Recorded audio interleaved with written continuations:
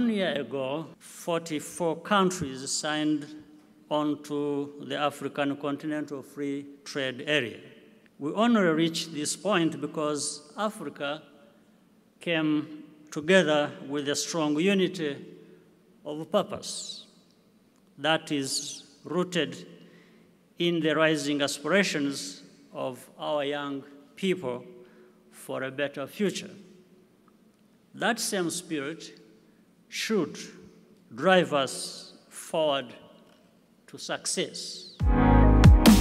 Africa has uh, immense, uh, unlimited opportunity and uh, even capacity in terms of uh, knowledge, expertise. These young Africans, unfortunately, they are doing uh, wonderful things for other continents, for other people.